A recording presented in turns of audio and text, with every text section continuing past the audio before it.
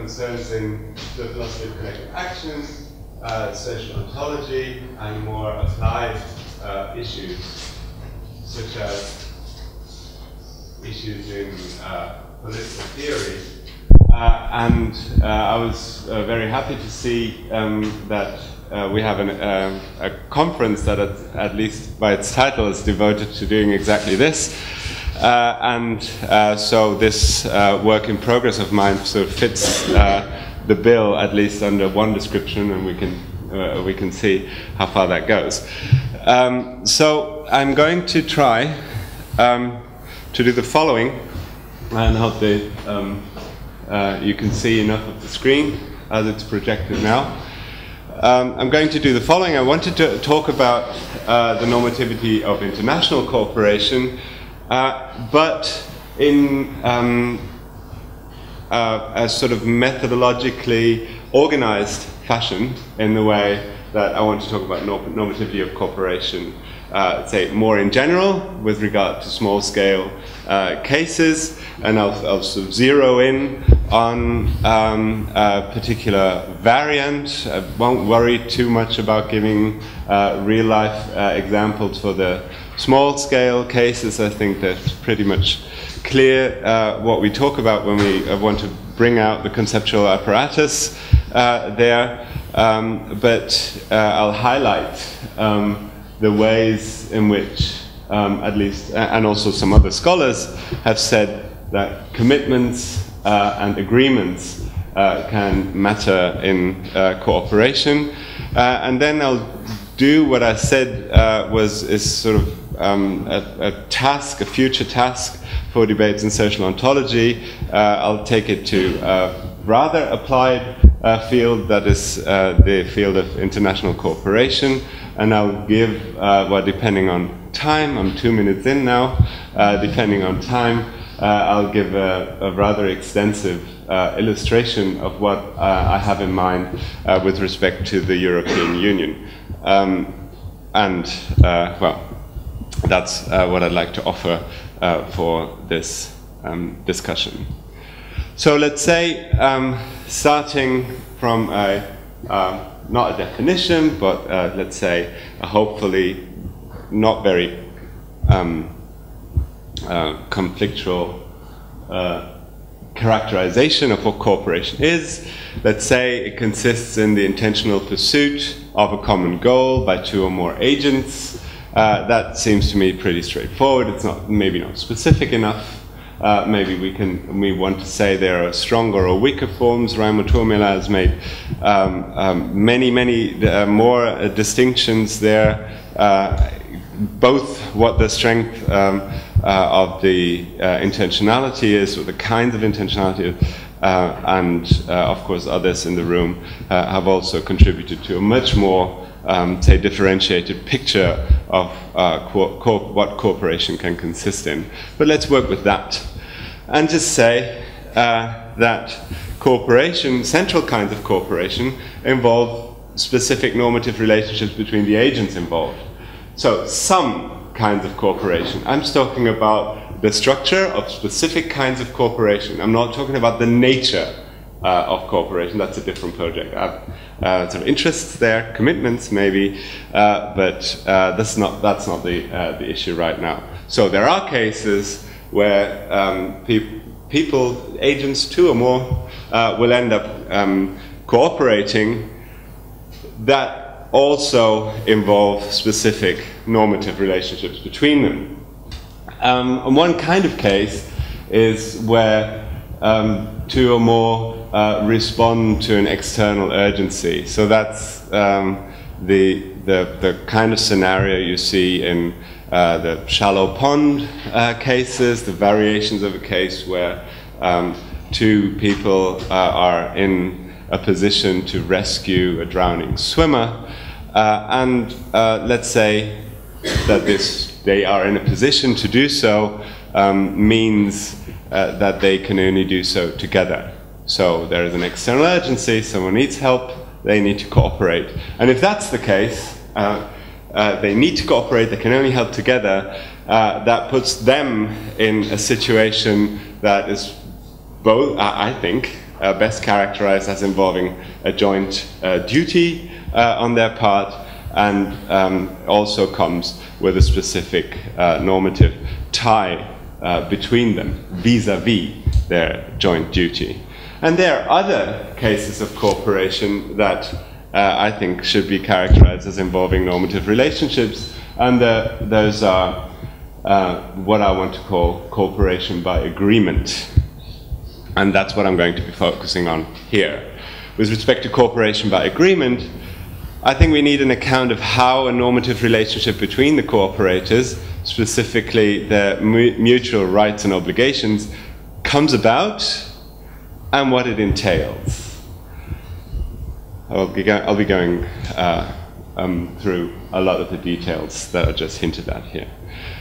Then we can ask if such an account provides resources for analyses that go beyond the small scale cases. And this is fast forward. If you want to envisage the upshot that this talk may have for you, uh, this is what I'm going to do. I'm going to say something about um, what cooperation by agreement looks like in the small scale case, not really engaging with the literature uh, there, only sort of um, hand waving uh, here uh, a, bit, a little bit.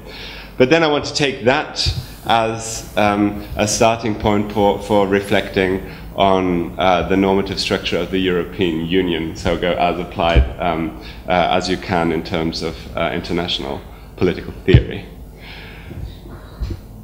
Okay, but building up um, the sort of theoretical uh, resources uh, for a few minutes, uh, let's do it this way and talk about commitments and cooperation um, just for the small scale case.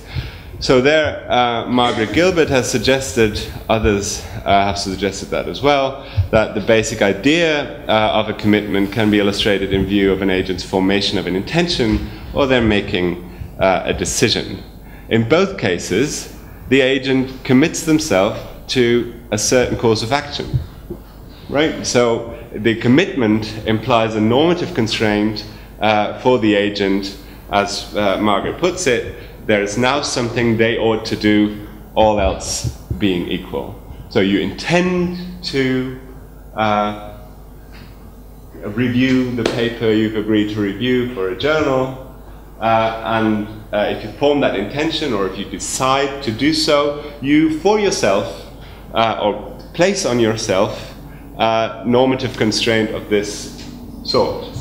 There's, of course, a worry of bootstrapping there. So if you want to say that the, the commitment, um, uh, that just by deciding you give yourself a reason to do something, um, that be problematic uh, in, in a variety uh, of different scenarios, just uh, hinting at that here. But the general idea seems uh, rather clear. So you decide to do something, and that uh, so going forward will matter in how you deliber deliberate uh, about your actions, uh, your options, uh, and so on. Now take this, uh, and I've only started with uh, the sort of Gilbert's picture and formulation here. I'm going to leave that, what everything, almost everything else she says um, about commitments uh, behind in a minute. But let's take it um, um, the way, or in a, in a way, she's also sympathetic to to some kind of collective level or to the joint case and say that agents who form a joint intention or make a joint decision or who agree to fight together, they also occur, incur commitments. So argue, arguably, um, and that's where um, dialectical strategies may differ, uh, we're, we're going to want to say that they each come to be socially committed to phi where this includes both the commitment regarding phi and the commitment vis-a-vis the respective other. So I'm going to gesture a little bit now, uh, and, but I'm not committed, committed to this the gestures themselves having any sort of further significance. But there, here's the idea. So we agree to write a paper together. That's an example that came up. Or we agree to go for a walk together, paint the house together, do something of this um, uh, elementary uh, sort. Then, um, if I join, uh, enter this agreement uh, with you, with my partner in interaction, then what I think is, is sort of to be said about what's going on is that I, just as um, informing an intention making a decision in the individual, individual case, I incur a commitment that is social. So we're talking about a joint activity. So if I intend uh, or decide to uh, engage in that activity, I commit to doing my part in the activity. So that's one sign. But if it's a joint activity, I think um, we also need to say that the commitment is not just to doing my part, it's also a commitment to the other uh, in, as a partner in uh, the endeavor. That's the idea. So um, you, don't, you don't get an adequate picture of joint action by just thinking of um, the intentions of each of the individuals, right? They have to interrelate or interlock in some way. Uh, and you don't, it doesn't, it, well, of course, there's, there's sort of a host uh, of reasons uh, for going to a more elaborate, um, um, let's say, analysis um, of what's required, both in the, say, in the intentional uh, infrastructure of what's going on. But um, the, I want to make the minimal point here that what you need is um, uh, you need to capture that uh, agents who engage in that kind of cooperation, uh, that they not, don't just individually relate to the thing to be done, they relate to each other uh, as well. There's no priority here, there's no left arm better than right arm, there's no uh, priority uh, in terms of sort of vertical versus horizontal uh, relations or whatever meta metaphoric uh, you, you may prefer here. Uh, I'm just saying uh, that both has to be in place, and that uh, I think um, uh, is what's capable of rendering the idea of a social commitment uh, most plausible. So then, turning to cooperation by agreement more explicitly, let's say that A and B agree to phi together, and then we can say that the agreement can but needn't take root in a sequential exchange, beginning with uh, one's initiative of the form let's phi and the other's appropriate uptake. Although, I want to say those are the very typical cases, right? So we, you ask people that are out, out on a walk together, how did that come about? Uh, a very likely response is that one of them has said, let's do it, and the other joined in. That's, uh, you, we, I have a complicated story, more complicated story to tell about how these initiatives uh, work, and I think they are a specific kind of speech act uh, there that also uh, implies social commitment of the sort I have in mind. Uh, but um, uh, this is just, uh, this, this be a tangent we don't really need to um, embark on right now. So it can take sequential, can have a sequential sort of pre-history it doesn't have to have it. Crucially, uh, we should uh, acknowledge the following, that's at least what um, I want to um, urge you to consider, that the agents, by agreeing to co cooperate, bring about two things, an intentional structure and a normative structure. And the intentional structure will um, comprise the relevant beliefs and interrelated intentions that together constitute their joint intention to phi. So that is what, what comes about, and that, will, that is what will uh, in, um, help guide the, corporate act, the cooperative activity. And second, uh, by agreeing in that way and by taking the entering of an agreement to imply a social commitment, they uh, bring about a normative structure that, again, comprises their respective social commitments and corresponding social uh, obligations. Key to the normative structure uh, are the agent's social commitments regarding phi and to one another, where this, I take it, establishes a normative relationship between them as cooperators. More specifically, they each come to have social obligations regarding their phi together, and that is, each incurs an obligation to do their part of and at least support the other in their phi together. So uh, we commit to doing this thing uh, together. And if the, com the commitment is um, understood as a constraint, not just on my reasoning, but as constraint on the, um, the, the deontic uh, status of the options uh, I have, then uh, that is, um, if uh, in place on both sides of the dyad, um, grounds uh, for speaking of uh, mutual obligations in the pursuit of phi here. I think this structure can be established absent relations of power or authority between, the, between them, so we can have them uh, in a, a, purely symmetric case, uh, and independently of the exact nature of phi. This is contentious, because um, I'm now saying that people can agree to commit crimes and if they agree to commit, if they can agree to commit, to commit crimes, uh, does this, and I'm saying yes, does this come with a special sort of, of a normative relationship between them?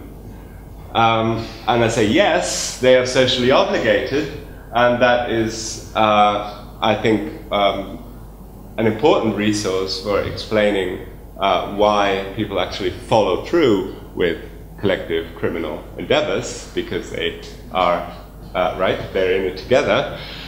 But um, uh, there is, it doesn't, that doesn't uh, undercut uh, um, the uh, further consideration we may have whether these obligations are more than um, social obligations. So lots of people um, react to this framework um, in the following way. They say, you say commitment, then you say obligation, but uh, there are only moral obligations, so it can't be the case that the norm, the, the, there's a normative infrastructure that can be cashed out, uh, uh, sort of, let's say, without um, proper attention to uh, morality. I think this is um, it's it's well taken. It's well it's a well motivated um, uh, but theoretically rather poor uh, response. It's well motivated because uh, we don't want people to commit crimes, not jointly, not at all. But when, we, when they do, we still want to know how, how that works.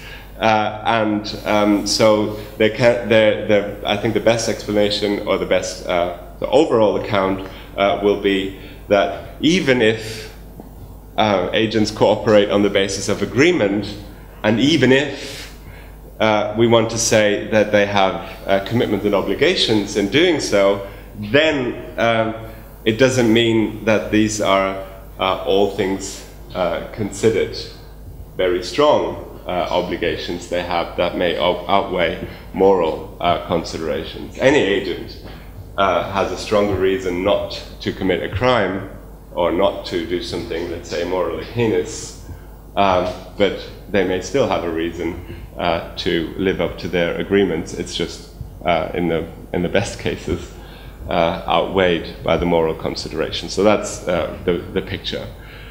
So, and I, I, think just to mention the last element here, uh, we don't need to, uh, in, in so resisting the moralizing talk of this normative infrastructure of cooperation, we don't have to say that agreements are exchanges of promises when we, when we say that agreements are, are, are something like exchanges of social commitments, um, we can stay clear of um, this sort of moral uh, ladenness.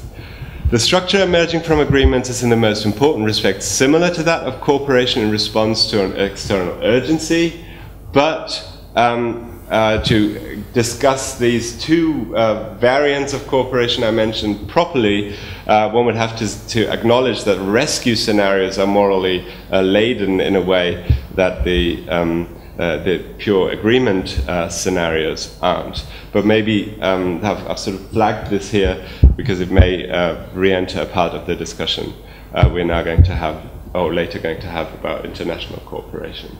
So the idea is um, to ask the following question Can this account of the structure of cooperation be applied to forms of international cooperation, and specifically cooperation among nation states?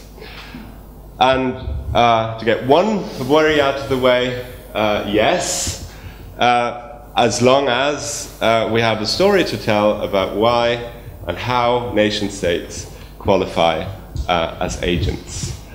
We can, uh, so we can sidestep that, so we can engage in that debate now. That will take us very, into a very different domain, not, not the one I want to go there, but, or we can say, for the sake of argument, um, that the rest is an as if. So we're going to say, look, I have a, I have a case, I, I gave you a case, like A and B agree to do something together, they fight together, and now next, the next thing we're going to do is we're going to pretend that nation states can fulfill the roles of A, A and B. This is very common uh, in uh, international political theory to talk that way, but um, to properly uh, engage with the social ontological literature uh, in that field would, of course, require uh, much more time, right? So I have 10 more minutes uh, and I want to get um, um, uh, through a lot more, a lot of material that would make this more applied. So take that as an as if, uh, if, uh, if you don't buy into a, a, story that is to be told about nation states as agents. So I think a realistic account of such international cooperation will have to maneuver between two things. And to some of you, um, uh, this will sound familiar, and to others, it won't. Uh, I can't help it, I can't really elaborate here, but it needs to be mentioned. So, we need to maneuver between two things. Uh, one is the uh, re received orthodoxy in, uh, in, international relations scholarship that depicts states as exclusively self interested and the international arena as a state of nature. And uh, so, that is um, the, the point there is uh, we should stay clear of that picture, of accepting that picture um, as plausible uh, right away, because it will not get us to a, uh, um, a consideration of what, age, what nation states do in the international arena as cooperation. It will just be um, uh, sort of very loose uh, set uh, of self-interested agents that don't um, uh, pursue common goals, and especially not for their own sake. On the other hand, we have to stay clear uh, of forms of globalist utopianism, as I'd call it, that view the global political order as capable of being state-like.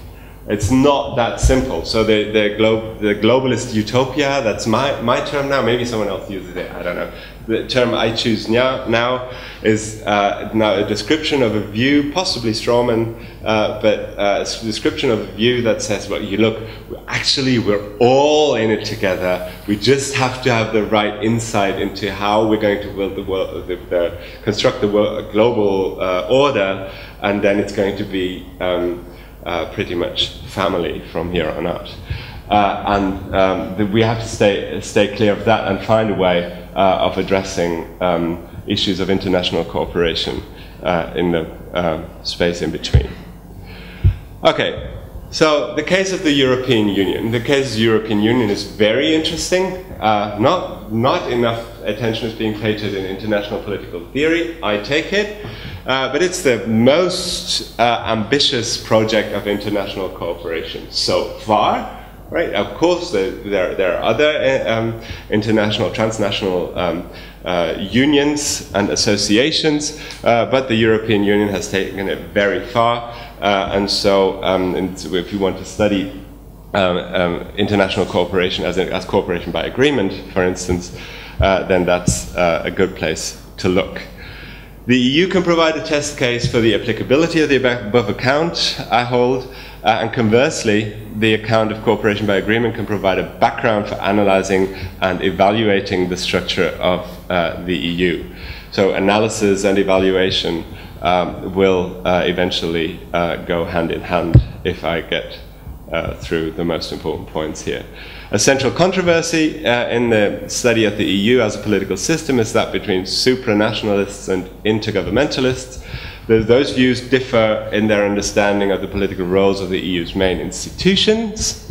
I list four. There's a bit of a debate how many of them are really central, but the four the Commission, the Parliament, the European Council, and the Council um, uh, are. Let's just, just highlight those. Um, and the supranationalists and intergovernmentalists uh, disagree um, about the roles of these institutions and in, with respect to their diagnosis regarding the strength of the normative relationship between member states. So supranationalists have the highly a picture of highly integrated, very good, highly integrated uh, uh, member states, and the uh, intergovernmentalists give a reading of the institutional structure that is rather one of, um, well, coordinating uh, single agents uh, that are not yet merged into uh, one union.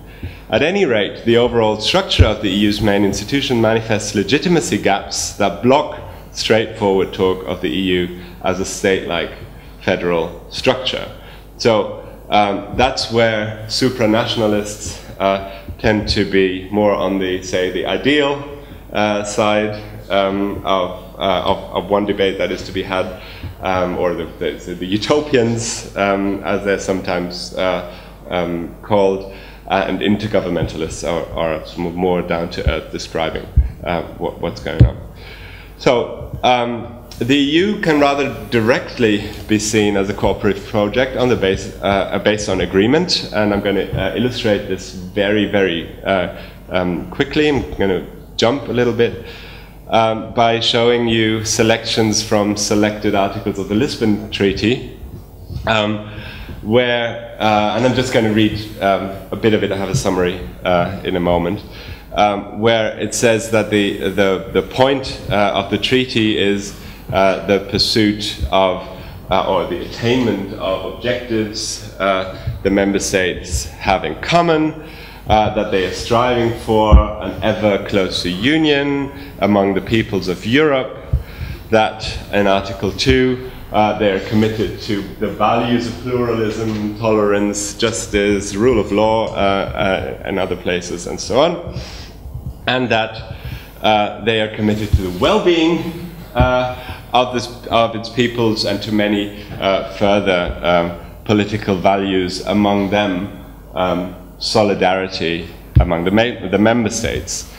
So, in summary, the Lisbon Treaty makes explicit reference to common goals and common values. It documents the aims of the member states to cooperate in bringing about well being, freedom, and sustainable development, as well as uh, in promoting cohesion and solidarity among the member states. It surely does not seem far off to view this as an agreement that comprises something like the normative import highlighted above. So you have two routes here. One is um, to focus solely on the legal scholarship uh, and treat this as the treaty it is. It's a contract. Uh, it's been ratified and um, only interpret this and all the normative implications uh, um, in terms of what the legal uh, implications are.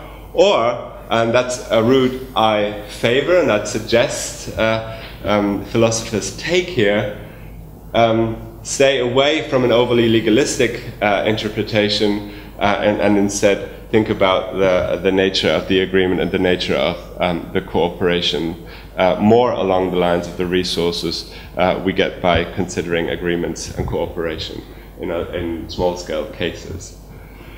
In pursuing its goals, I won't go into all the details of this, the EU, EU distinguishes um, between competences that are either exclusive to the EU as such, uh, shared between the EU as mem- and in, in, its member states, that are uh, coordinated by the EU, and those are exclusive, uh, that are exclusive to the member states. So I gave, I gave the, the policy areas that sort of uh, do uh, that so fall into these uh, categories of competences. I mention this only because they, they, they clear, clearly, uh, uh according to the Lisbon Treaty, clearly the nature of the cooperation isn't to now do everything together, but the, um, the nature of the cooperation, the nature of the union uh, is to, um, well, move towards doing certain things together and uh, do other things uh, individually on the member state uh, level. So it has it, it's four it has four categories that's important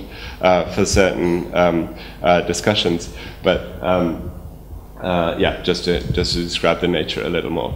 So I can't really go into the issue of burden sharing here, but there are, there are and that's important to consider, um, schemes for uh, burden sharing that are the best, I think, the best example for how uh, within the how the European Union actually works uh, right now. Um, the member states have agreed to um, uh, meet mutual uh, obligations, especially in fields like energy politics uh, common, for, common um, uh, foreign and security policies, and in terms like, uh, or in, in issues that, such as with terrorism or natural catastrophe. So then, um, then so they, they help each other in those occasions, but those are really uh, regulated. I'm sorry, I have to go one, two, three minutes. Oh, I'm taking it out of the discussion, so. Yeah, yeah, yeah can take it out of the discussion, that's fine. Uh, so the present schemes uh, resemble accords between self-interested states much more than solidary cooperation within a single community. That's the upshot of the consideration of burden uh, sharing. Uh, and there's um, a, an area, uh, so I want to pose a, num a number of, of, questions, and now I'm going over time, being very strict here. Uh, but I want to raise a number of questions that um, should urge us to consider um, the cooperation, international cooperation that is the European Union, uh, in a sort of different spirit. As follows Doesn't the avowed commitment to the pursuit of joint goals in the spirit of solidarity point towards a more extensive acknowledgement of mutual obligation in the case of divergent developments? So I want to know, or we should ask ourselves, what the extent of the obligations is that are incurred under the agreement to cooperate. What if we resist recourse to a legalistic understanding of the structures uh, and instead uh, point to directed obligations to lend support and assistance? So let uh, and I have and I have a series uh, of, of, data that'd be interesting to look at. Maybe you want to look at in uh, in the Q and A. Um, it's not uh, necessary to go all through the details, but the story uh, that I think needs to be told about this form of international cooperation need, uh, that needs to take into account that member states fare very differently in, uh, in the European Union, and um, the fact uh, or the ways the cooperation is designed uh, um, tells a lot about um, uh, how far the member states are in fact committed uh, to solidarity and so on. So this is, this is data from the Bertelsmann Foundation for 2016. It shows in various boxes how individual member states, all 28, another five months, six months, uh, all 28 fare uh, and look at the, the headline uh, with, with respect, also in a development uh, with respect to here risk uh, of poverty uh, and social exclusion. And uh, so what I do with the boxes is I say there are individual member states who, care, who, who do very badly according to the data, uh, which I, I, hold, I hear is correct. Um, um, and of course, and specifically, these member states fare far worse than others. So what's, um, let's uh, take a very telling example, um, which the, um, in terms of severe material deprivation. The data for Greece is that between 2008, that's the column here on the left, and 2016, um, severe material deprivation has doubled. So the percentage of the population that is severely materially deprived uh, has doubled uh, in Greece uh, uh in that time. Or uh, in uh, what's that unemployment rate for Croatia? Croatia only joined in 2013, but anyway, unemployment uh, has doubled in Croatia. Uh, and um, in, there's a host of groups as well. They're all, of course, always uh, on the bottom of the scale. They're not Germany, Austria, Denmark, Netherlands. Uh, they're on the top. Um, so in terms of youth unemployment, uh, there are some uh, very disconcerting, disquieting uh, figures here if you think uh, of the almost 50% uh, of young uh, unemployed, that's under 24 uh, in Greece and Spain, and also doubled figures. You don't see the colors here very well, but that's the general um, depiction by the Bertelsmann Foundation is that Southern Europe here, red, uh, does very badly in terms of what they compile as a social justice index. And the further north, the further Sweden you go, um, the, um, the greener uh, the, the coloring gets. I'll conclude in a moment. Um, I think the challenge for the EU as a cooperative project lies in addressing divergences in terms of obligations that are in line with, possibly implied by, but not made explicit in the legal form of its agreement. So you get, you have uh, the Lisbon Treaty. It has a lot of political rhetoric uh, of solidarity and the spirit of solidarity. You have in the same, in the Treaty of the Functioning of the European Union, you have a host of regulations uh, that say how burdens are shared if something very, very bad happens, but you have no provisions uh, for meeting uh, the challenges posed by divergent developments I've just illustrated. So, arguably, it's in virtue of their explicit agreement that the member states are, or let's say would be, in a privileged position to support uh, each other. And I'm now looking only at their at their uh, relationship. Obviously, uh, say Germany is in a very good position to lend support to others, non-European Union uh, countries, but um, they are not in the same sort of framework of an agreement. A specifically political issue arises, of course, in squaring these directed and mutual obligations of states qua member states with the several reasonable concerns for safeguarding the claims of the citizens of these uh, member states.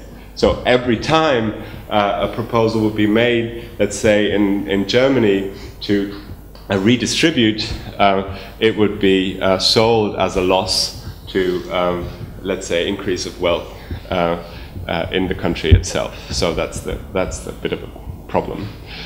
Uh, it may be that we want to say that an agreement is less binding if it's entered in ignorance of possible conflicts with other obligations. So it may be that uh, we can't say they're committed to helping each other because they didn't know how difficult this would get. But we shouldn't say that holding up one's end of the agreement is entirely optional and never fit to outweigh um, self regarding concerns. Last slide, uh, all the text at once. Cooperation by agreement, that's what I wanted to say, is best accounted for in terms of specific intentional normative structures. The account I propose highlights the way in which agreements are constituted by social commitments and give rise to mutual obligations between cooperators. That's another result. We could easily construct and stay just in the small scale and uh, sort of typical uh, methodology and construct cases uh, where, um, which bring out the limits uh, and potential breakdown of agents' fulfillment of their obligations. But we can, and that's what the, the sort of the, the look at international cooperation of the EU should, should have done. Um, we can show uh, how following through with one's intentions and decisions, living up to one's commitments, and honoring the agreement one has entered is complicated. We will, uh, that's what I want to submit in conclusion, learn something about the normative structure of cooperation if we understand what determines the reach uh, of commitment. That's it. Thank you.